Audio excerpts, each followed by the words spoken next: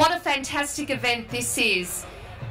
If you stand here and look behind you, you'll just see people everywhere celebrating what is truly fantastic about Australia, and that is firstly how harmonious we are, how respectful we are, how accepting we are, and that we have fantastic festivals throughout all cultures, and this is one of them tonight, one of the best festivals in the calendar of New South Wales and Australia. So I'd like to congratulate all of you for being here tonight, and in particular, I'd like to acknowledge Sayed Hassan and his family for the incredible, incredible work that they have done to bring this festival to you. So put your hands together for them.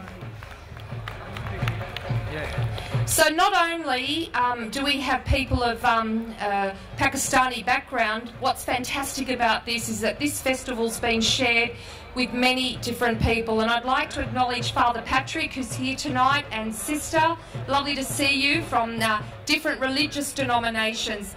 Chand Raat is, uh, even though this is about Eid tomorrow, which is a great Muslim religious festival, Chand Raat is broader than that.